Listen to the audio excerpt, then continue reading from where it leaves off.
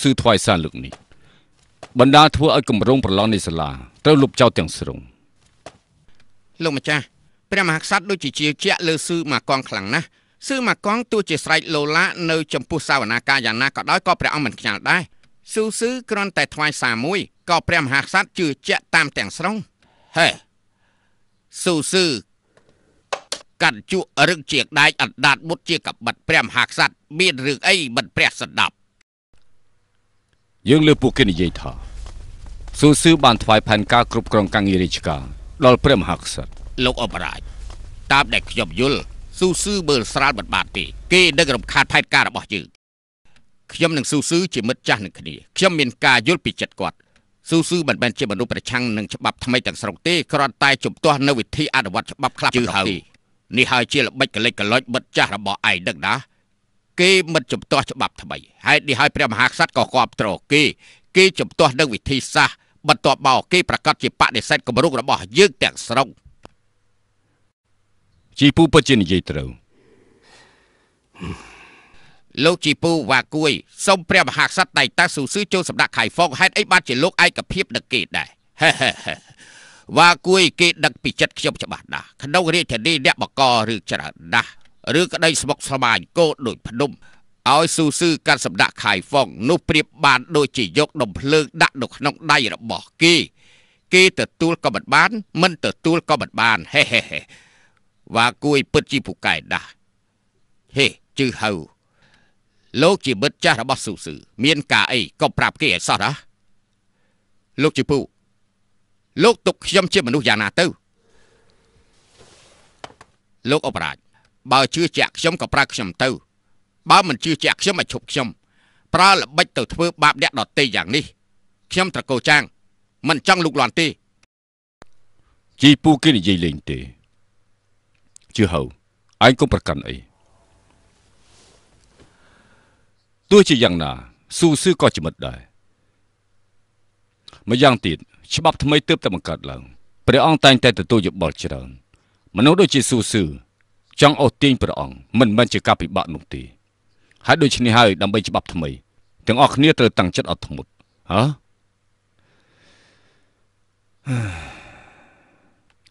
តាំងពីបង្កើតច្បាប់ថ្មីមកមិត្តចាស់របស់យើងក៏បែកពីយើងជាបន្តបន្ទាប់គិតចុះគិតឡើងគឺជារឿងដែលគួរឈឺចាប់ណាស់ក៏ប៉ុន្តែកែប្រែច្បាប់ថ្មី វាគឺជារឿងសំខាន់មិនអាចឈប់ពាក់កណ្ដាលទីទេ លោកម្ចាស់លោកម្ចាស់ជួយរកយុទ្ធធម៌ឲ្យខ្ញុំផងរឿងខ្ញុំអយុត្តិធម៌ណាស់អយុត្តិធម៌យ៉ាងម៉េចអ្នកចង់ប្រឹងពីនរណាលោកម្ចាស់រឿងអយុត្តិធម៌របស់ខ្ញុំតែមិនដឹងថាទៅប្រឹងអ្នកណាទេប្តីខ្ញុំជាអ្នកលក់ចង្គៀងគោមខ្ចីប្រាក់ពីរាជការទិញចង្គៀងពីជឺចាំងមកថ្មីត្បិតថាយើងត្រូវបង់ការប្រាក់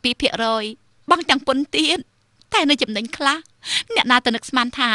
មន្ត្រីរាជការសង្កត់តម្លៃចង្គៀងទិ ញពីពួកខ្ញុំតម្លៃចង្គៀងមករួចខ្លួនផងប្តីខ្ញុំចង់កស្លាប់បាត់ទៅហើយ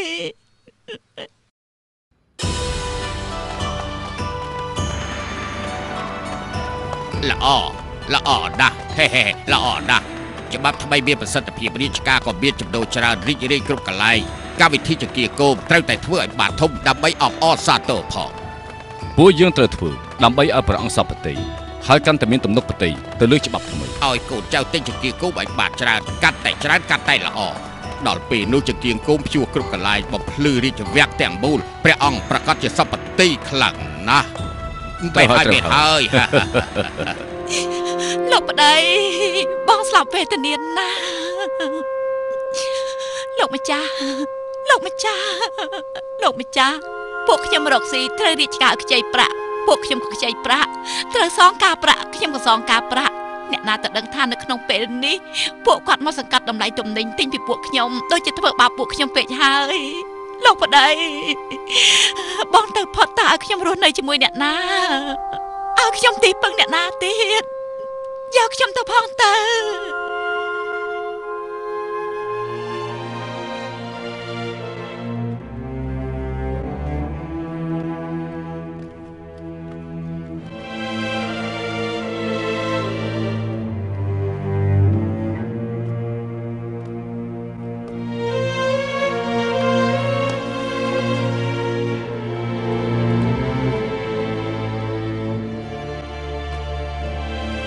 ដល់ថ្ងៃបុណ្យចង្គៀងគោមអស់លោករៀបចំបានយ៉ាងណាទៅហើយព្រះអង្គ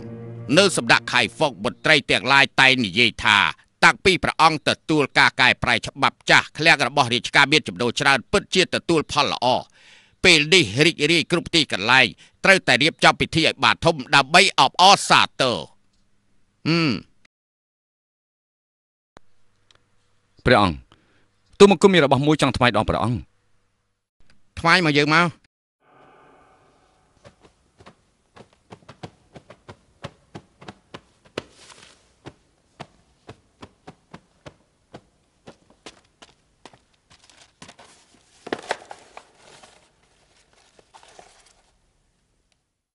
នេះគឺជាចង្គៀងគុំធម្មតាហើយចាស់ធ្លុះធ្លាយទៅផងស៊ូស៊ឺនេះបានន័យថាម៉េចក្រាមទូលព្រះអង្គនេះគ្រាន់តែជាចង្គៀងគុំធម្មតាមួយគឺទូលមកគុំដើរតាមផ្សារនៃស្រុកខៃហ្វុងឬបានឲ្យចៃដុនព្រះអង្គចិត្តដល់ថ្ងៃបុណ្យចង្គៀងគុំទៅហើយទូលមកគុំឃើញនៅផ្សារលក់ចង្គៀងគុំគ្មានមនុស្សដើរតាមផ្លូវស្ងាត់ជ្រាបហាងជាច្រើនក៏បិទទ្វារផ្អាការរ៉ូស៊ីនៅតាមផ្លូវទាំងឡាយឃើញសុទ្ធតែចង្គៀងគុំខូចហើយនេះហើយទូលមកគុំក៏រើសយកមកថ្វាយព្រះអង្គទៅ បាត់ទ្វារលក់ដូរឯងក្រាមទូលព្រះអង្គបិទទ្វារមនុស្សដូរទុកថាគ្រាន់បើប៉ុន្តែមានឈ្មោះចង្គៀងគុំខ្លះដោយសារតែត្រូវគេសង្កត់តម្លៃក៏សម្រាប់ចិត្តចង់ក៏សម្រាប់ខ្លួនទៀតផងថាម៉េចយើងឲ្យពួកគេទៅសង្កត់តម្លៃចង្គៀងគុំតាំងពីពេលណាក្រាមទូលព្រះអង្គប្រជារាស្ត្រដែលលក់ចង្គៀងគុំមិនមែនជាអ្នកមានទេខ្ចីប្រាក់បងការប្រាក់ដើមឆ្នាំចុងឆ្នាំហូបចុកបងពុនគឺស្ថិតនៅក្នុងថ្ងៃលក់ចង្គៀងគុំព្រះអង្គជាឪពុកម្ដាយរបស់ប្រជារាស្ត្រគិតគូរដល់ប្រជារាស្ត្រហើយអ្វីបានជាសង្កត់តម្លៃទំនិញរបស់ប្រជារាស្ត្រ រឿងនេះគឺជារឿងតូចតាចតែនាំមកនូវផលវិបាកធំណាស់ធ្វើយ៉ាងនេះបានន័យថាកេងប្រវាញ់ផលប្រយោជន៍ពីប្រជារាស្ត្រហើយថ្ងៃបុណ្យចង្គៀងគុំគឺចង់ឲ្យប្រជារាស្ត្ររួមសប្បាយជាមួយគ្នាឲ្យប្រជារាស្ត្រមានភាពអ៊ូអរឥឡូវបែរជាធ្វើបាបប្រជារាស្ត្រទៅវិញហ៎ព្រះអង្គនេះក៏ប្រហែលជាមន្ត្រីមួយចំនួនជាអ្នកប្រព្រឹត្តដោយមិនឲ្យទូបង្គំដឹង តែពួកទូបង្គំកំពុងតែរៀបចំពិធីបុណ្យចង្គៀងគុំយ៉ាងធំដើម្បីអបអរការជោគជ័យនៃច្បាប់ថ្មីរបស់យើងមិនមានបំណងចង់ចំណេញប្រាក់ពីប្រជារាស្ត្រអ្វីដែលស៊ូស៊ឺនិយាយមិនមែនជាការពិតនោះទេព្រះអង្គទូលមកគុំយល់ថាហេតុតែមានរឿងបែបនេះកើតឡើងវាគឺជាកំហុសនៃច្បាប់ចំនួនព្រះអង្គស៊ូស៊ឺមានបំណងចង់យករឿងចង្គៀងគោមនេះដើម្បីប្រឆាំងនៅច្បាប់ថ្មីរបស់យើងបុត្រីតូចតាចធ្វើខុសវិន័យនឹងច្បាប់ គ្រាន់តែសង្កត់តម្លៃចង្គៀងគោមបន្តិចបន្តួចគេក៏យករឿងនេះជាលេសបដិសេធនៅច្បាប់ថ្មីទាំងស្រុងព្រះអង្គស៊ូស៊ឺកន្លងមកតែងតែជំទាស់នឹងច្បាប់ថ្មីគេយករឿងនេះធ្វើឲ្យវែងឆ្ងាយដើម្បីប្រឆាំងនឹងច្បាប់ថ្មីព្រះអង្គទូលមកគុំមិនចំតង់នឹងច្បាប់ថ្មីនោះទេតែទូលមកគុំយល់ថាបើសិនជាអនុវត្តតែបង្ខំធ្វើឲ្យប៉ះពាល់ដល់ប្រជារាស្ត្ររំខានដល់ប្រជារាស្ត្ររឿងចង្គៀងគុំនេះគឺជាឧទាហរណ៍ស្រាប់ព្រះអង្គបានហើយឈប់និយាយទៀតទៅ យើងនិយាយពីការងារវិញស៊ូស៊ឺបានជាយករឿងនេះទូលយ៉ាងតាន់ពេលជាការប្រសាណាស់លីវេឆេងចេញបញ្ជាជាបន្ទាន់ឲ្យចង្គៀងគុំទាំងនេះរក្សាតម្លៃដូចដើមអ្នកដែលធ្វើខុសត្រូវតែទទួលទោសតាមច្បាប់ទទួលព្រះរាជបញ្ជា ព្រះអង្គមានព្រះរាជបញ្ជាដូចតទៅជង្គៀងគោមត្រូវរក្សាតម្លៃដើមជង្គៀងគោមប្រគល់ជូនប្រជារាស្ត្រវិញសូមទទួលយកទៅនេះគឺជាទឹកចិត្តរបស់ពួកយើងទាំងអស់គ្នាណាបាច់ទេសុំបាច់ទទួលទេយកទៅបាច់ធ្វើយ៉ាងនេះគឺលោកម្ចាស់ស៊ូទេជាអ្នកជួយដល់ពួកយើងទាំងអស់គ្នាបែរហើយហើយហើយបើតាមគ្នាលោកចាស់ទទួលយកទៅយើងប្រហែលជាមិនអាចជួបផ្ទះបានពួកខ្ញុំគ្មានអ្វីសោះគុណលោកម្ចាស់ស៊ូទេជូនចង្កៀគូពី3ទៅលោកម្ចាស់ស៊ូក្នុងថ្ងៃបុណ្យមានអីអស្ចារ្យទៅមែនហើអើយហើយត្រូវហើយជាទឹកចិត្តរបស់ពួកខ្ញុំបងប្អូនពួកយើងជួយជួចង្កៀគូផងទៅណាអើអឺហើយហើយទេហើយមិនហើយទេបងប្អូនលោកម្ចាស់មិនយកពីបងប្អូនទេរាជការក៏មិនអនុញ្ញាតដែរណាថាម៉េចរាជការមិនអនុញ្ញាតឥឡូវនេះមានតែច្បាប់គ្មានមនោសញ្ចេតនាឲ្យមែនទេពិតជាមិនបានបើសិនជាមន្ត្រីច្បាប់ប្តឹងលោកម្ចាស់ដល់ពេលនោះមានអ្នកណាជួយរកយុត្តិធម៌ឲ្យបងប្អូនទាំងអស់គ្នាទៀតនោះពិតជាអញ្ចឹងមែនណាហឹមឥឡូវអញ្ចេះចោះ ខ្ញុំសូមជំនួសឲ្យលោកម្ចាស់ទិញចង្គៀងគោមពីអ្នកទាំងអស់គ្នាដោយគិតតម្លៃសមស្របទៅយ៉ាងម៉េចដែរមនុស្សដូចជាស៊ូស៊ឺចំជាផ្ដេសផ្ដាស់ពេកហើយខ្ញុំបាននិយាយឲ្យស៊ូស៊ឺមើលងាយមិនបានទេគេថ្វាយសារទាំងពីរច្បាប់ព្រះមហាក្សត្រទទួលទាំងពីរច្បាប់ពួកយើងខំប្រឹងប្រែងក៏ខ្លាយទៅជាអត់ប្រយោជន៍ដែលបើសិនជាមិនមែនស៊ូស៊ឺនិយាយផ្ដេសផ្ដាស់ទេរឿងអីព្រះអង្គក៏មិនដុតជាងគៀងដែរនោះពេលនេះរាជវាំងងងឹតឆឹងគោលការណ៍ច្បាប់ថ្មីកំពុងអនុវត្តរឿងនេះដូចជារំខានពេកហើយខ្ញុំបានប្រាប់ពួកលោករួយហើយ ហ្វានចិនមិនគួរឲ្យខ្លាចស៊ឺមកក៏មិនគួរឲ្យខ្លាចហាន់វៃក៏មិនគួរឲ្យបារម្ភប៉ុន្តែស៊ូស៊ឺនេះហឺយគេហាបត់បិទបត់និយាយថាមិនជំទាស់លើច្បាប់ថ្មីជំទាស់តែវិធីសាស្ត្រប៉ុណ្ណោះទេគេថាធ្វើបណ្ដាកែបណ្ដាកែបណ្ដាធ្វើបណ្ដាហេតាពិតនេះជាល្បិចរបស់គេប្រៀបដូចជាបញ្ជលលាក់ក្នុងសម្លេងពិតជាពឹសពុលដាស់ប៉ុន្តែស៊ូស៊ឺពិតជាពូកែមែនពិបាកនឹងចាត់ការណាស់យើងត្រូវតែគិតឲ្យបានវែងឆ្ងាយផង ចំពោះរឿងស៊ូស៊ឺតើពួកយើងគួរប្រាប់លោកអបរាជទេគាត់ទុកស៊ូស៊ឺជាមិត្តគេបែរជារំខានរឿងរបស់យើងទៅវិញបានកម្មវិធីថ្ងៃនេះពិតជាអ៊ូអន់ណាហេតើបងស៊ឺថ្ងៃនេះជាថ្ងៃបន់ពិតជាអ៊ូអនណាស់ពួកយើងទៅមើលចង្គៀងគោមទៅមិនបាច់ទេបងទៅមើលឯកសារបន្តិចសិនចាទៅយើងទៅចុះ តែមើលជាគៀងកោមតែមើលជាគៀងកោមសប្បាយណាស់សប្បាយណាស់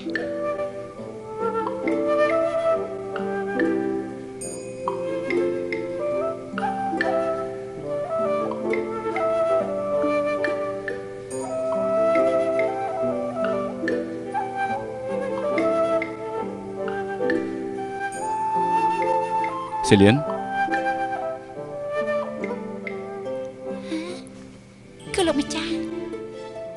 ការសម្រាប់តែមានការអីនៅក្នុងផ្ទះណានាក៏ទៅមើលជាគៀងគោមហេតុអីបានជានេះមិនទៅខ្ញុំងុយដេកខ្ញុំមិនទៅទេលោកម្ចាស់តែមានការអីហ្នឹងអត់ទេគ្មានអីទេសេលៀននាងបើកទ្វារបន្តិចបានទេ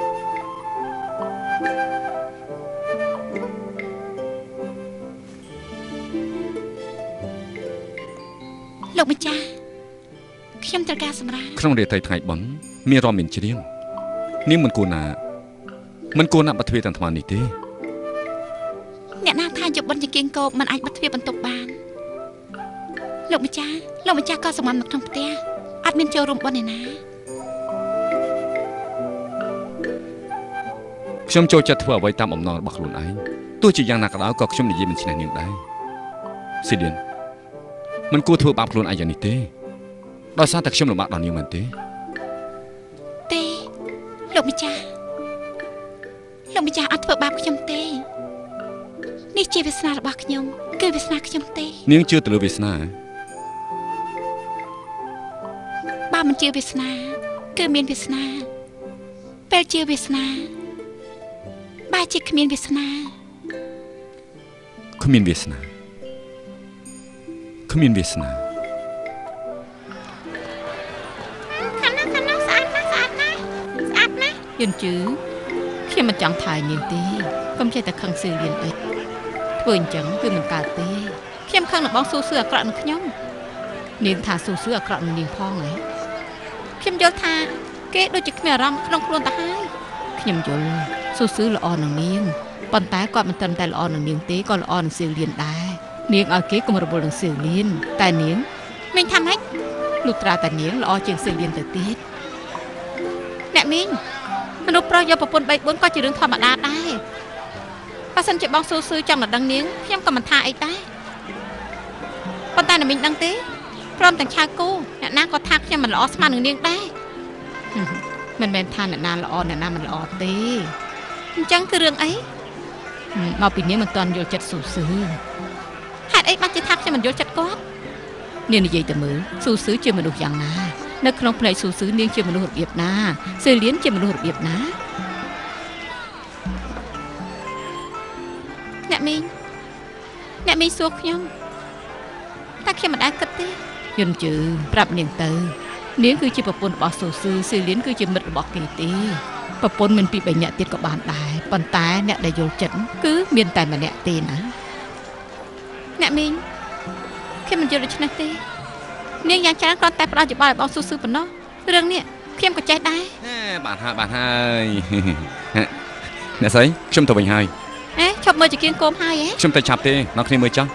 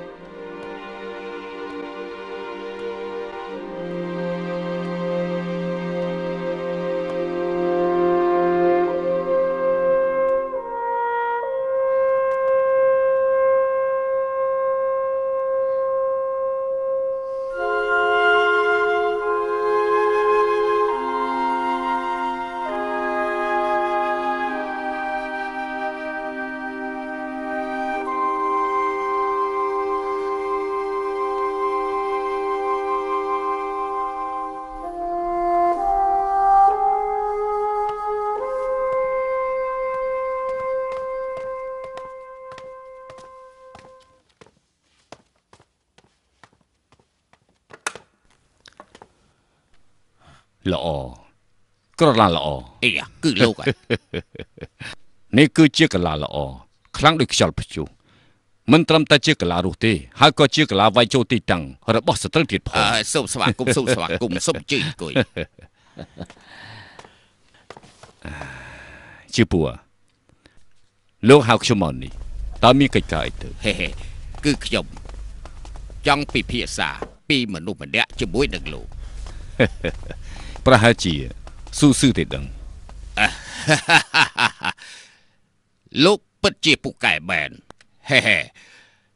លើកបុត្រព្រះមហាក្សត្រចង់ប្រទានឋានៈទៅលីទីងក្នុងរាជការគ្មាននរណាចង់ប្រកាសព្រះរាជបញ្ជានេះសោះមានតែលោកទេដែលយល់ពីការពិតមិនជឿពាក្យចចាំអារាមទាំងនោះលីទីងជាមិត្តល្អរបស់ខ្ញុំខ្ញុំសូមអរគុណលោកម្ចាស់ហើយអេជីពូ យើងទាំងអស់គ្នាបម្រើរាជការនេះក៏ជាទូនាទីរបស់ខ្ញុំដែរចាំបាច់គួរសមធ្វើអីនិយាយពីរឿងស៊ូស៊ឺជំរាបឲ្យត្រង់ទៅចុះខ្ញុំពិតជាឈឺក្បាលណាស់ប្រហែលថ្ងៃនេះគេថ្វាយសារទាំងពីរច្បាប់និយាយពីច្បាប់ថ្មីមានចំណុចខ្វះខាតមានឧបសគ្គច្រើនព្រះមហាក្សត្រក៏ជឿលើគេទាំងស្រុងស៊ូស៊ឺល្បីល្បាញនៅខាងក្រៅនៅក្នុងរាជការក៏មានបពពួករបស់គេគ្រប់គ្រង បើយ៉ាងនេះតទៅទៀតខ្ញុំខ្លាចដើមឈើធំទៅចាក់គ្រឹះកាន់តែជ្រៅវាប៉ះពាល់ដល់គោលការណ៍ច្បាប់ថ្មីរបស់យើងតើខ្ញុំមានសមត្ថភាពអីទៅបានជាពិភាក្សាជាមួយខ្ញុំលោកមិនចាំបាច់គួរសមពេកទេតាមតែខ្ញុំដឹងលោកក៏មិនសូវទុកចិត្តស៊ូស៊ឺប៉ុន្មានដែររឿងប្រហែលលើកខ្ញុំក៏មើលយល់ដែរបានជាអញ្ជើញលោកមកសូមលោកមានយោបល់ប្រាប់ខ្ញុំផងចុះលោកក៏ជាមន្ត្រីជាន់ខ្ពស់ដែរ ប៉ុន្តែស្ដាប់យោបល់ពីខ្ញុំវាគឺជារឿងដែលគួរភ្ញាក់ផ្អើលខ្លាំងណាស់បើតាមខ្ញុំយល់ព្រះអង្គពេលនេះកំពុងតែត្រូវការធ្វើឲ្យរាជការខ្លាំងក្លាពិតមែនថាទទួលស្គាល់ច្បាប់ថ្មី តែក៏មិនចង់ឲ្យវ៉ាងអានស៊ឺកាន់កាប់អំណាចតែម្នាក់ឯងដែរដូច្នេះព្រះអង្គក៏ត្រូវការស៊ឺម៉ាគួងបើមានស៊ឺម៉ាគួងហើយច្បាប់ថ្មីនេះអាចដើរទៅមុខដោយគ្មានការលំអៀងទៅខាងណាប៉ុន្តែឥឡូវនេះមានស៊ូស៊ឺម្នាក់ទៀតស៊ូស៊ឺមិនដូចជាស៊ឺម៉ាគួងទេ ស៊ូស៊ឺចង់កែប្រែច្បាប់ចាស់តែមិនពេញចិត្តនឹងច្បាប់ថ្មីរបស់យើងម្នាក់នេះគឺនៅកណ្ដាលរវាងបពពួកទាំងសងខាងម្យ៉ាងទៀតគេមានទេពកោសលល្អខ្លាំងណាស់ដូច្នេះហើយព្រះអង្គក៏សពតិចំពោះគេបើព្រះអង្គសពតិនឹងគេទៅហើយលោកអាចធ្វើអ្វីគេបានទៅហើយលោកនិយាយទៅមើលតើខ្ញុំគួរធ្វើយ៉ាងណាបើតាមខ្ញុំយល់ទី1 ស៊ូស៊ឺមានទេពកោសលកម្រមានបើស្ដាប់សម្ដីរបស់គេ ជាគោលការណ៍គេមិនប្រឆាំងនឹងច្បាប់ថ្មីទេបើសិនជាបញ្យលគេបញ្ចុះបញ្ចូលគេឲ្យចូលក្រុមរបស់លោកនោះប្រៀបដូចជាខ្លាចដល់ស្លាប់យ៉ាងចឹងទី2បើសិនជាលោកបញ្ចុះបញ្ចូលស៊ូស៊ឺមិនបានលោកត្រូវតែសម្រេចចិត្តចាត់ការគេឲ្យបានបណ្ដឹងគេចេញពីរាជការឲ្យគេចាក់ចេញពីរាជធានីឃ្លាតពីព្រះអង្គកាន់តែឆ្ងាយកាន់តែល្អសម្រាប់លោកលោកមានយោបល់ល្អសមជាមន្ត្រី3ចំនួន ចំណែកខ្ញុំក៏ចង់ឲ្យស៊ូស៊ឺនៅក្បែរខ្ញុំដែរប៉ុន្តែស៊ូស៊ឺនិងខ្ញុំតែងតែទាស់គ្នាចង់លុបបំបត្តិទំនាស់ទាំងនេះក៏មិនងាយដែរលោកម្ចាស់យល់ថាតើអ្នកដាទៅដែលអាចបញ្ចុះបញ្ជូលគីបានម្នាក់នោះគឺមិនមែនខ្ញុំទេពីព្រោះថាស៊ូស៊ឺក៏មិនដែលចូលចិត្តខ្ញុំម្ដងណាស់ដែរតែខ្ញុំណែនាំម្នាក់ឲ្យទៅលោកម្នាក់នេះគឺនៅក្នុងសំណាក់ច្បាប់ ហើយក៏ជាមិត្តចាស់កាដែលស៊ូស៊ឺនៅជាសិស្សដែរព្រមទាំងធ្វើការជាមួយគ្នានៅហ្វុងសៀងគ្រាន់តែប្រហែលឆ្នាំនេះមិនសូវមានការតាក់ទងគ្នា គេម្នាក់នោះគឺចាំងចៅចាងចៅជឿពូអ្វីដែលខ្ញុំប្រាប់លោកថ្ងៃនេះសូមលោកកុំប្រាប់លោកម្ចាស់វាងអាន់ស៊ឺឲ្យសោះពាក្យខ្លះខ្ញុំប្រាប់បានតែលោកម្នាក់ទេមិនអាចប្រាប់វាងអាន់ស៊ឺបានឡើយ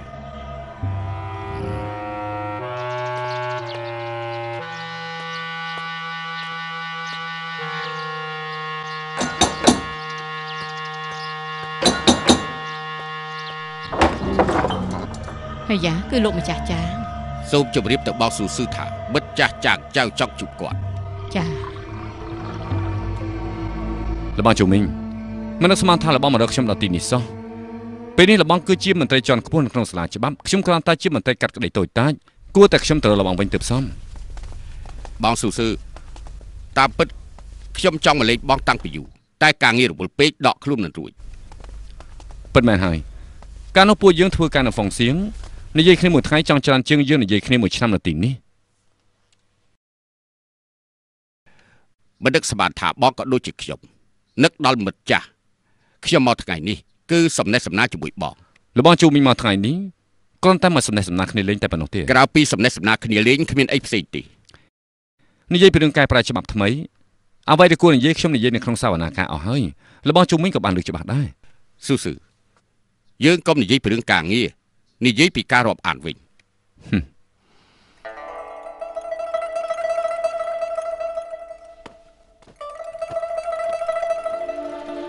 យន្តជឺអឺមើលប្រវត្តិសាស្ត្រផងតើមើលយល់ទេហ្នឹងតែគាត់ថាខ្ញុំមើលមិនយល់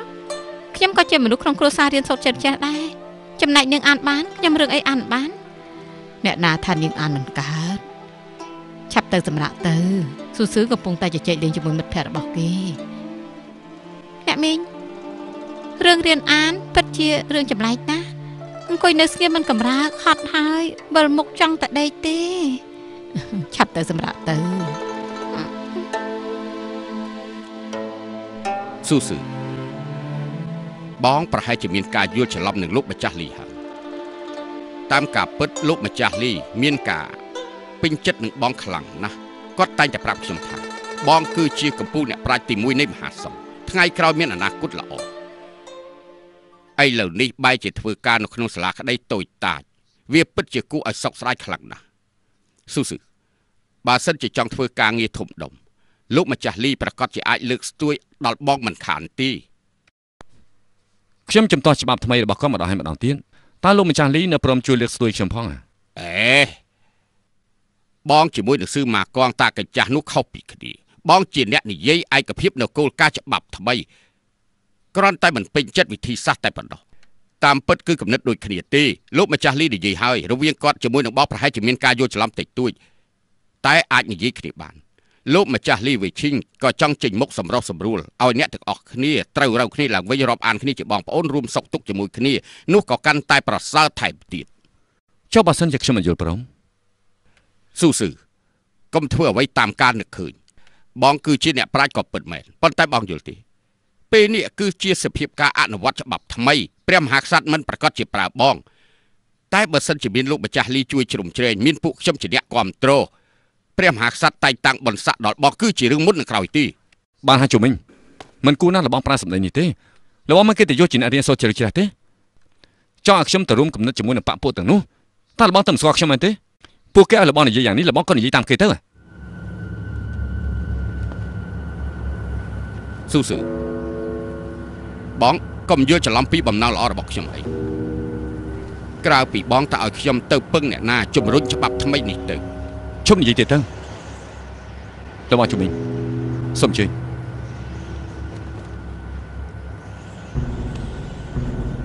លបងជំនាញ លបងមិនមែនជាជំនាញដែលខ្ញុំស្គាល់កាលពីមុនទេតែខ្ញុំនៅតែជាស៊ូស៊ឺដែលលបងស្គាល់កាលពីមុន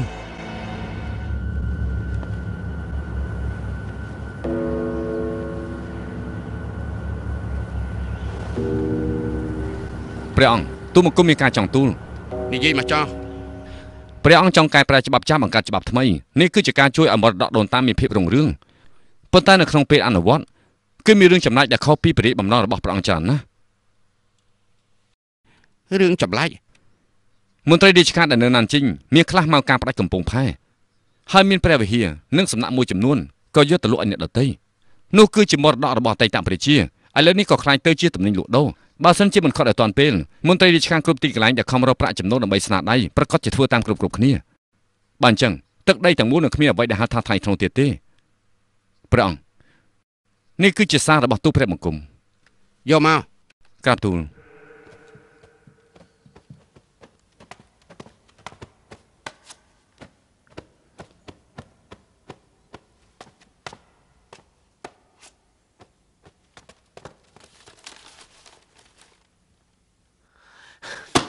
ចំជាផ្ដេសផ្ដាស់មែនมันគួរអញ្ចឹងសោះ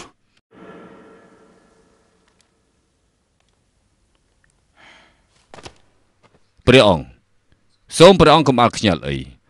ច្បាប់ថ្មីមានការខុសឆ្គងបន្តិចបន្តួចគឺជារឿងធម្មតាឲ្យតែហាមឃាត់តាន់ពេលគ្មានបញ្ហាអ្វីធ្ងន់ធ្ងរនោះទេ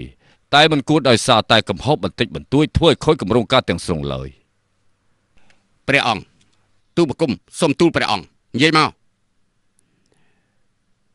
ព្រះអង្គតាំងពីអនុវត្តនៅច្បាប់លក់ដូរនេះមករាជការមិនត្រឹមតែដោះស្រាយបញ្ហាស្មុគស្មាញមិនកើតហើយបែរជាមានកំណើន30%ជាងមុន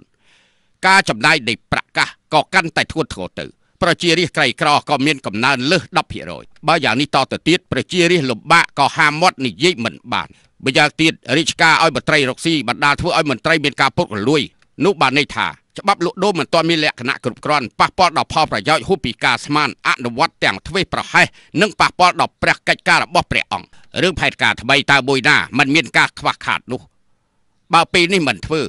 ចាំរហូតដល់ចាស់ដូចជាលោកអញ្ចឹងសឹមមកធ្វើរឿងអីក៏ខ្វះខាតតើរាជការអាចរកចាប់បានទេលោកចេះតែប្រកាសយ៉ាងនេះនោះប្រៀបដូចជារើសឆ្អឹងនៅក្នុងពងមាត់លោកលោកម្ចាស់លីនិយាយនេះខុសហើយ កាលពីសម័យរាជវង្សហានប្រារាជការមានការខ្វះខាតប្រើវិធីឈ្មោះរបស់សាងហុងយ៉ាងទិញថោកលក់ថ្លៃគឺជាវិធីសាស្ត្រធ្វើជំនួញរបស់គេជាហេតុធ្វើឲ្យមានចៅប្លន់និងចៅលួចយ៉ាងច្រើនធ្វើឲ្យចូលច្បល់គ្រប់ទីកន្លែងរីឯវិធីជំនួញសប្តាហ៍នេះគឺចំណងតាមវិធីរបស់សាងហុងយ៉ាងហើយក៏គ្មានការខុសប្លែកគ្នាដែរនៅក្នុងលោកនេះគ្មានច្បាប់ណាដែលល្អគ្រប់10ទេ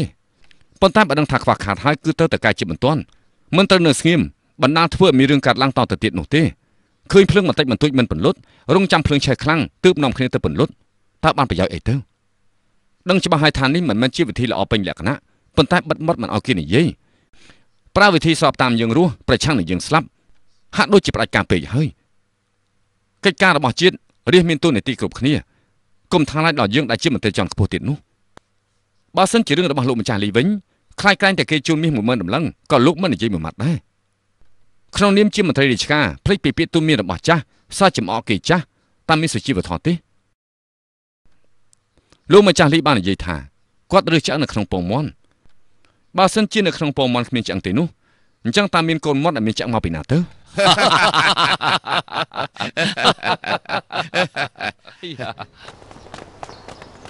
ស៊ូស៊ឺឯងនិយាយត្រូវស៊ូស៊ឺអស៊ូស៊ឺឲ្យបកស្រាយបានល្អច្បាប់ដូនតាមិនអាចកែប្រែបានទេលោកម្ចាស់ ពេលនេះខ្ញុំមិនឯកភាពទេតាំងពីព្រេងនេះមកគ្មានច្បាប់ណាដែលល្អពេញលក្ខណៈទេរឿងអីថាមិនកែប្រែនោះលោកការពិតលោកជាមនុស្សរបស់ជឿពូដដែលខ្ញុំអត់មានបាក់ពួកទេហឺស៊ូស៊ឺអខ្ញុំមិននឹកស្មានទេឯងប្រឆាំងជាមួយនឹងច្បាប់ថ្មីច្រើនលើកច្រើនសារឯងជាបកពួករបស់ស៊ឺម៉ាកងខ្ញុំស៊ូស៊ឺឥឡូវនេះឯប្រៀបដូចជាសត្វកណ្ដុរនៅក្នុងធុងខ្យល់ ត្រូវខ្យល់ទាំងសងខាង តែមិនអីទេមានតាកាចាស់នេះនៅក្បែរឯងជានិច្ចហើយនៅមានខ្ញុំទៀតលោកម្ចាស់ហានមន្ត្រីចាស់ដូចជាលោកចឹងប្រកាន់នៅគំនិតបែបនេះពិតជាកម្របាត់ជួបណាស់លោកម្ចាស់ហាននិងលោកម្ចាស់ជីពូរាប់អានគ្នាយ៉ាងនេះហើយនេះបានជាមិនបញ្យល់គាត់ផងទៅខ្ញុំមិនមែនប្រាប់គាត់តែម្ដងទេប៉ុន្តែគាត់នៅតែប្រកាន់គំនិតចាស់សុកចិត្តផ្ដាច់ការរាប់អានជាមួយនឹងខ្ញុំយូរឆ្នាំគាត់ស្បត់ថាត្រូវធ្វើកិច្ចការនេះឲ្យបានសម្រេចដើម្បីឲ្យគេមើលអេ លោកគឺជាលោកអបរាជខាងស្ដាំអាចទូលទៅព្រះមហាក្សត្រកែតម្រូវឡើងវិញទៅចំពោះច្បាប់ថ្មីនេះខ្ញុំមានការឯកភាពមកពីលោកជីពូទេដែលប្រើមនុស្សខុសហើយមហាសង្ឃទីបំផុតត្រូវបំផ្លាញដោយសារតែមនុស្សទាំងនេះហើយហើយស៊ូស៊ឺពិតជាអត់ដឹងអីមែនប្រឆាំងហើយប្រឆាំងទៀតគេប្រឆាំងជាមួយនឹងយើងជាសត្រូវយើងយើងក៏ប្រឆាំងនឹងគេតទៅទៀតដែរចាប់ពីពេលនេះតទៅ អស់លោកមើលស៊ូស៊ឺឲ្យស្រួលបើមានកំហុសបន្តិចបន្តួចយើងនឹងដេញគេចេញពីរាជធានីមិនឲ្យមកវិញទេ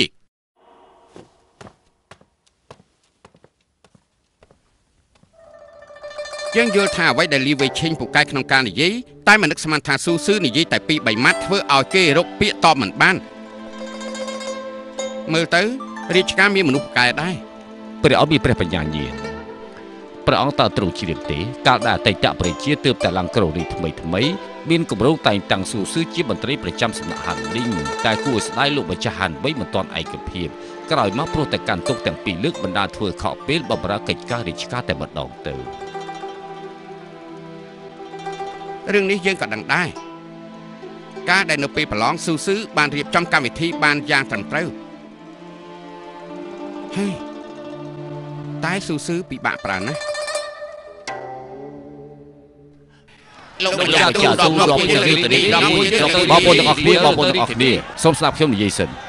ចូលក្នុងរាជធានីបានប៉ុន្តែត្រូវតែទុកឧបករណ៍នៅក្នុងដៃអ្នកទាំងអស់គ្នាមិនមែនទៅបង្ករឿងនៅក្នុងរាជធានីទេលោកម្ចាស់ទូបើពួកគេមិនលុបច្បាប់ឲ្យខ្ចីប្រាក់ទិញស្រពុះពួកយើងនឹងកំទេចស្លាកក្តីនៅរាជធានីបែរហើយបែរហើយទូរាជការចង់សាហាវជាមហាសេដ្ឋីទៅទៀត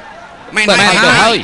ព្រះអង្គស្រឡាញ់ប្រជារាស្ត្រណាអ្នកទាំងអស់គ្នាកុំនិយាយចឹងអីលោកម្ចាស់ទូសូមលោកកុំបារម្ភអីបើពួកគេមិនវាយយើងទេពួកយើងក៏បន្តដៃដែរយើងធ្វើនេះដើម្បីកុំឲ្យចាញ់ព្រៀបគេបែរហើយបែរហើយឲ្យចាញ់ព្រៀបគេសូមដល់ពួកយើងទៅនាំពួកយើងទៅរាជធានីទៅដល់ពួកយើងទៅការរាជធានីទៅដល់ពួកយើងទៅរាជធានីទៅដល់ពួកយើងទៅការរាជធានីទៅលោកជាអ្នកជួយផ្ដល់យោបល់បែរហើយពួកយើងទៅរាជធានីបែរហើយបែរហើយបងបងលឺឡើងលឺឡើងបងប្អូនយើងលឺឡើងលឺឡើងធ្វើជើងពួកយើងមិនអាចរស់នៅបានទៅហើយបើរស់នៅមិនបានទេធ្វើទៅតស៊ូទៅតែឆានពួកយើងនៅទីទីតស៊ូដល់ទីបញ្ចប់ជាមិនអូសាយើងយើងសុខចិត្តយើងមិនសុខចិត្តទេយើងសៀបសៀបសៀបចង់ធ្វើអីសៀបកុំរៀនដល់ផ្លូវយើង កុំរៀនបានណាសៀបទម្លាក់អាវុធនៅក្នុងដៃបើមិនចឹងយើងនឹងបាច់ព្រួយសម្រាប់ពួកឯងទាំងអស់គ្នាជប់សិនជប់សិនបងប្អូនទាំងអស់គ្នាទម្លាក់អាវុធនៅក្នុងដៃចុះទៅណាពួកយើងនិយាយគ្នាតាមសម្រួលទៅណានិយាយតាមសម្រួលទៅដាក់ចុះទៅដាក់ចុះទៅដាក់ចុះទៅនាំខ្លួនម្នាក់នោះមកណែមិនអាចដល់ទៅបានទេស៊ីមសិននៅស៊ីមសិនខ្ញុំទៅជាមួយពួកលោកទៅលោកនិយាយថាម៉េច កូនប្រសាររបស់វាងវិនចិនឈ្មោះទូចិនជាអ្នកដល់មុខឯងមិនខុសទេហើយនេះឲ្យបានជាពួកយើងពិបាកដោះស្រាយដែលជាពួកអាខ្ញុំមានមធ្យោបាយមួយ យើងប្រគល់ក្តីនេះឲ្យទៅសាលាក្តីខៃហ្វុងទុកឲ្យស៊ូស៊ឺជាអ្នកសម្រេចរឿងក្តីនេះតែម្ដងទៅនេះគឺជាវិធីល្អហេលោកម្ចាស់ស៊ូសុខសប្បាយទេហ៎អូ ការពិតគឺលោកម្ចាស់លីទេលោកគឺជាមន្ត្រីនៃសំណាក់ច្បាប់មិនក៏មកនៅក្នុងកន្លែងរបស់លោកបាយជាមកសាលាក្តីខៃហ្វុងទៅវិញ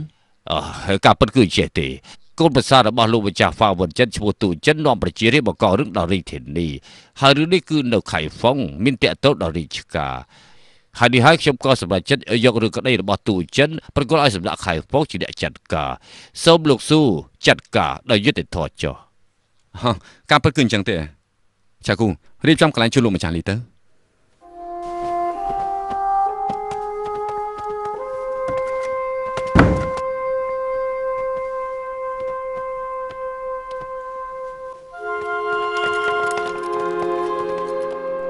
សូមគោរពលោកម្ចាស់តើអញជាអ្នកណាជំរាបលោកម្ចាស់ខ្ញុំឈ្មោះទូចិនទូចិនហើយដែលបានជាត្រូវចាប់ខ្លួនមកទីនេះ លោកម្ចាស់តាំងពីច្បាប់ខ្ចីប្រាក់ទិញពូជប្រកាសមកមន្ត្រីរាជការបង្ខំពួកយើងខ្ចីប្រាក់ធ្វើបជានេះមានការពិបាកពួកគេទាមទារឲ្យខ្ញុំមកប្តឹងដល់រាជធានីមិនមែនជាការបង្ករឿងទេលោកម្ចាស់ព្រះអង្គមិនមែនឲ្យមន្ត្រីមូលដ្ឋានបង្ខំឲ្យប្រជារាស្ត្រខ្ចីប្រាក់ទេប៉ុន្តែមន្ត្រីទាំងអស់នោះមិនព្រមស្ដាប់តាមព្រះរាជបញ្ជាបង្ខំពួកយើងខ្ចីប្រាក់ទិញស្រូវពូជនេះមិនមែនជាការបង្ករឿងទេប្រជារាស្ត្ររាប់រយអ្នកកាត់អាវុធគ្រប់ដៃចូលមកដល់រាជធានីស្រែកលោឡាចុកប្រយុទ្ធជាមួយកងទ័ពប្រចាំរាជធានីតើមានន័យថាម៉េចតើនេះគឺជាការពិតទេសូមជម្រាបលោកម្ចាស់ បងប្អូនប្រជារាស្ត្រមានការភ័យខ្លាចបានជាយកមកតាមខ្លួនដោយសារតែកងទ័ពរាជធានីធ្វើការហាមឃាត់បានជាពួកគេមានការប៉ះទង្គិចគ្នាសូមលោកម្ចាស់មេត្តាជ្រាបលោកនាំពួកគេមកចង់ធ្វើការប្តឹងផ្តល់នៅក្នុងសាលាក្តីមួយណាគឺសាលាច្បាប់មន្ត្រីមូលដ្ឋានមកខំមកខ្ចីប្រាក់តើមានផតាំងទេមានលោកម្ចាស់អឺលោកម្ចាស់នេះគឺជាពាក្យបណ្ដឹងលោកម្ចាស់នេះជាពាក្យបណ្ដឹងរបស់ប្រជារាស្ត្រប្តឹងមន្ត្រីមូលដ្ឋានមកខំមកខ្ចីប្រាក់យកមកនេះមក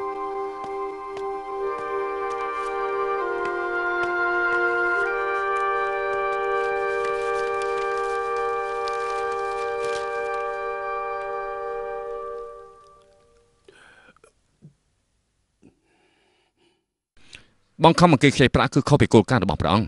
ទូចិនតើលោកអាចយកពាក្យបណ្ដឹងរបស់ប្រជារាស្ត្រទទួលស្គាល់បណ្ដឹងដល់សាលាច្បាប់ទេប៉ុន្តែលោកនាំកសិករកាន់អាវុធគ្រប់ដៃចូលអុកឡុកក្នុងរាជធានីវាគឺជារឿងមិនសមទេហើយវាថែមទាំងប៉ះពាល់ដល់កិត្តិយសរបស់លោកម្ចាស់ហ្វាំងទៀតលោកគឺជាអ្នករៀនសូត្រធ្វើអញ្ចឹងបានប្រយោជន៍អីលោកមានដឹងខ្លួនខុសទេលោកម្ចាស់ខ្ញុំដឹងខ្លួនខុសហើយខ្ញុំសូមកាត់ក្តីបង្ខំប្រជារាស្ត្រខ្ចីប្រាក់ខុសនឹងព្រះរាជបញ្ជាប្រជារាស្ត្រមិនសុខចិត្តគឺគ្មានទោសពៃចំណែកទូចិនហ៊ាននិយាយហ៊ានប្តឹងតែធ្វើខុសរបៀប ឥឡូវនេះយើងពិន័យលោកថែភ្នូររបស់លោកម្ចាស់ហ្វាំងវិនចិនមួយឆ្នាំដើម្បីកែខ្លួនទៅវិញចុះអរគុណលោកម្ចាស់សូមអរគុណលោកម្ចាស់អរចាកាត់ក្តីត្រឹមត្រូវកាត់ក្តីត្រឹមត្រូវកាត់ក្តីត្រឹមត្រូវហេលោកម្ចាស់សួរគាត់តែប៉ុណ្្នឹងគាត់ដោះលែងពួកគេទៅវិញអញ្ចឹងហ៎សូមលោកម្ចាស់លីកុំមានចិនផ្ទះសាពេកលោកម្ចាស់លីព្រះអង្គស្លាញ់ប្រជារាស្ត្រអ្នកណាក៏ដឹងដែរបើសិនជាព្រះអង្គបានតសាននេះដល់ពេលនោះច្បាប់ខ្ចីប្រាក់ទិញពុយប្រកាសជាបរាជ័យ ហើយលោកគ្រូរបស់លោកប្រកាសជាបន្ទោសលោកជាមិនខានទេហឹមហេលោកម្ចាស់ស៊ូកាត់ក្តីបានល្អត្រឹមត្រូវគ្រប់ទៅតាមច្បាប់ខ្ញុំសូមលាសិនហើយសូមជើញ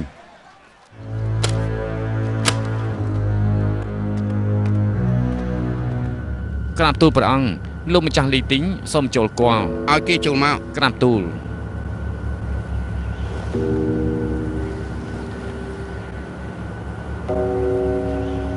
ទូលបង្គំលីទីងសូមក្រាបថ្វាយបង្គំព្រះអង្គក្រោកឡើងអរប្រគុណព្រះអង្គ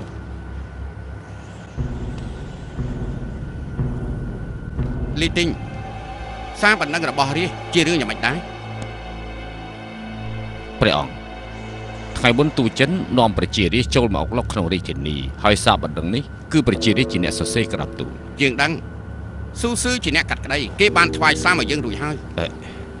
ព្រះអង្គ ពេលដែលទូលបង្គំប្រគល់រឿងក្តីនេះឲ្យទៅលោកម្ចាស់ស៊ឺស៊ូទូលបង្គំក៏ទៅមើលការកាត់ក្តីដែរក្រាបទូល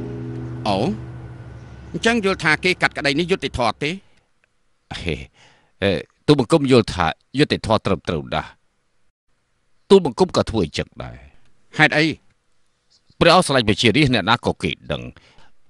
បើមានគេបង្ខំប្រជារាស្ត្រខ្ចីប្រាក់ខុសព្រះរាជបញ្ជារបស់ព្រះអង្គហើយត្រូវតែកាត់ក្តីឲ្យគេជាអ្នកខុសហើយលើកលែងឲ្យប្រជារាស្ត្រ អញ្ចឹងលោកក៏យល់ថាសារបណ្ដឹងនេះក៏ជាសម្លេងរបស់រាជដែរមែនទេព្រះអង្គហេបញ្ហាគឺនៅត្រង់ហ្នឹងហើយអឺពេលដែលទូលបង្គំធ្វើការសាកសួរប្រជារាស្ត្រទៅនេះមិនបាប្រគល់ពាក្យបណ្ដឹងនេះឲ្យទូលបង្គំទេមកពីទូលបង្គំជាអ្នកឯកភាពទៅនឹងច្បាប់ថ្មីចំណែកស៊ូស៊ឺគឺជាអ្នកជំទាស់ហើយដូច្នេះហើយប្រជារាស្ត្រសុកចិត្តប្រគល់សារបណ្ដឹងនេះឲ្យទៅគេមិននឹកស្មានថាគេយកសារនេះយកមកថ្វាយដល់ព្រះអង្គសោះអ្នកណាយកពាក្យបណ្ដឹងមកឲ្យយើងមិនសំខាន់ សំខាន់ពាក្យបណ្ដឹងនេះគឺជាសម្លេងរបស់រាជព្រះអង្គស៊ូស៊ឺគេយល់យ៉ាងណាទូលបង្គំមិនដឹងទេតែពាក្យបណ្ដឹងនេះមិនមែនជាគំនិតរបស់ប្រជារាស្ត្រពាក្យបណ្ដឹងនៅទីនេះមានរឿងអីថាមិនពិតសូមព្រះអង្គទ្រង់ជ្រាបទូចិនគ្រាន់តែជាមន្ត្រីតូចតាចតែប៉ុណ្ណោះមានរឿងអីហ៊ានធ្វើដូច្នេះតាមដែលទូបង្គំដឹងទូចិនគឺជាមនុស្សរបស់វិញ្ញាណប៉មុនពេលដែលមានបញ្ហាកើតឡើងគេចេញចូលផ្ទះរបស់វិញ្ញាណ ប៉វិញ្ញាណប៉ជាអ្នកទទួលគេដោយផ្ទាល់ព្រមទាំងប្រមូលកសិករបកឬមួយចំនួនអ្នកទាំងនោះគឺស្ដាប់តាមការបញ្ចុះបញ្ចូលរបស់វិញ្ញាណប៉ហើយចំពោះសារបណ្ដឹងនេះទោះជាចង់រកមនុស្សប្រមាណអ្នកយកមកធ្វើក៏រកបានដែរក្រាបទូលព្រះអង្គរាជការឲ្យប្រជារាស្ត្រខ្ចីប្រាក់ឈ្មួយហើយនឹងគ្រួសារធំធំមិនអាចចងការឲ្យប្រជារាស្ត្របានអញ្ចឹងរំខានការរស់ស៊ីរបស់ពួកគេពួកគេប្រកាសជាគ្មានផ្លូវរស់ស៊ីតទៅទៀត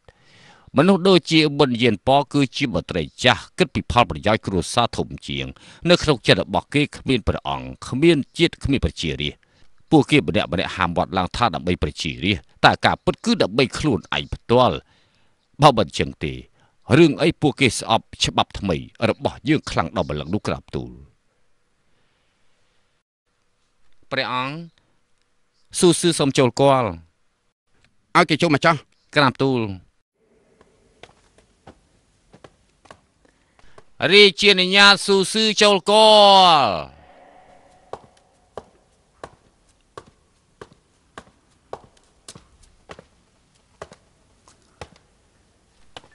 ព្រះអង្គ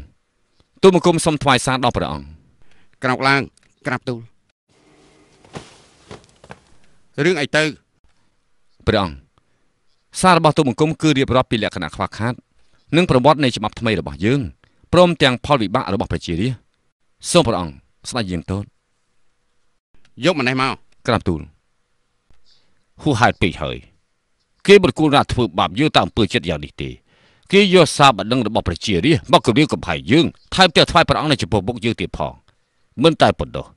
គេបានយកសារប្រមាថច្បាប់ថ្មីយកទៅថ្វាយដល់ព្រះអង្គទៀតផងលោកជីពូស៊ូស៊ឺពេលនេះកំពុងតែឈានជើងមកគៀកយើងមួយជំហានមួយជំហានបើយើងនៅតែដកថយយ៉ាងនេះ ខ្ញុំខ្លាចក្រែងតែធ្វើឲ្យផែនការបរាជ័យទេពួកយើងពិតជាខ្លួនធ្វើបាបខ្លួនមែនខ្ញុំមានមធ្យោបាយមួយអាចកែប្រែសភាពការបាន នៅក្នុងចំណោមពួកយើងអ្នកដែលអាចបង្ក្រាបស៊ូស៊ឺបាន គឺមានតែម្នាក់ទេគឺលោកអុបបរាជឯងលោកម្ចាស់ឆ្លៀសវៃមែនក៏ប៉ុន្តែ លោកដឹងថាលោកអុបរាជនឹងធ្វើយ៉ាងណា លោកអបរាជប្រើវិធីដកថយដើម្បីចូលដកថយដើម្បីបៃប្រហារទៅមុខស៊ូស៊ឺប្រកាសជាដកខ្លួនមិនខានបើលោកអុបរាជសុំព្រះមហាក្សត្ររាជានុញ្ញាតឲ្យគាត់ឈប់ពីដំណើរព្រះមហាក្សត្រក៏កាន់តែជឿជាក់លើច្បាប់ថ្មីរបស់យើងល្អមិនខានដល់ពេលនោះស៊ឺស៊ឺចង់ធ្វើអីក៏អត់បានត្រូវហើយដែរត្រូវហើយមែនល្អណាស់ រឿងដែលព្រះមហាក្សត្រគោរពបំផុតគឺអ្នកដែលយល់ពីសភាពការពិតសុកចិត្តលះបង់ដំដាយមិនចង់បាត់ដំដាយស្រឡាញ់រាជស្រឡាញ់ជាតិបើសិនជាលោកអបរាជគាត់ធ្វើដូច្នេះនោះនឹងធ្វើឲ្យព្រះមហាក្សត្រកាន់តែបណ្ដាច់ប្រទេសចំពោះលោកគាត់ពិតជានិយាយត្រូវប៉ុន្តែលោកអបរាជគឺជាមនុស្សត្រង់ណាស់មិនដឹងថាអាចទៅរួចឬក៏អត់នោះទេអេមនុស្សដូចជាលោកអបរាជរស់ជាមនុស្សបានតែបម្រើការងារគឺទៅមិនរួចទេជាក់ស្ដែងឈ្នះជាម្ចាស់ចាញ់ជាចោរចំពោះស៊ូស៊ឺយើងមិនត្រូវបន្ធូរដៃទេហឹម សភាពការចំពោះមុខលោកអបរាជមិនព្រមក៏មិនបានដែរ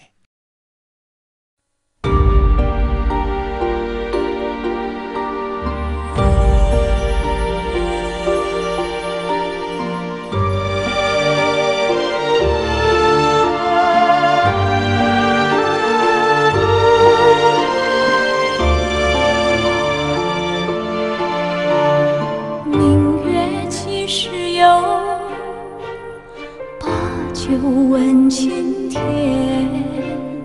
不知天上宫阙，今夕是何年？我欲乘风归去，又恐琼楼玉宇，高处不胜寒。起舞弄清，我死在人间。